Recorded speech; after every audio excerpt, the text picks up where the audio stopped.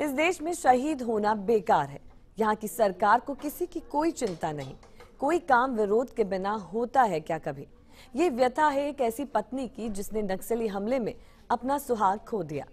ये शब्द दर्द के रूप में शहीद हेमराज की वीरांगना की ज़ुबान से निकले ज़रूर।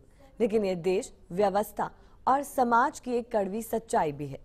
शहीद हेमराज के अंतिम संस्कार के समय तो कम से कम यही नज़र आया।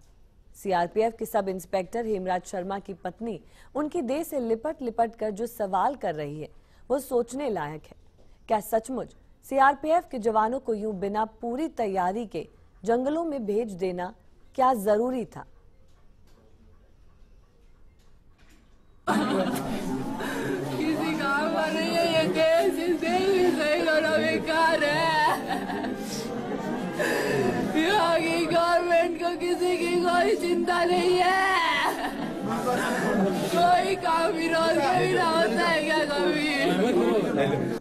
शर्म आती है मुझे इस हिंदुस्तान की, इस ऐसे अफसरों पे, जो आधे घंटे डेड बॉडी छत्तीसगढ़ से चल करके शहीद का पार्थिव शरीर यहाँ घर पे आ गया।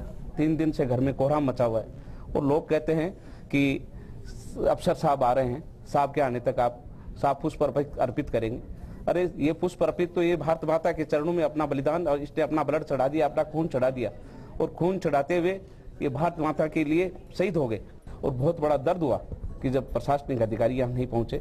और मैं तो ये भी आगे से माननीय वसुंधरा जी से निवेदन करूँगा कि ऐसी सादत के समय राजस्थान सरकार के पास खूब मिनिस्टर है, वो भी अंत्येष्टि के समय एक मंत्री को यहाँ भेज।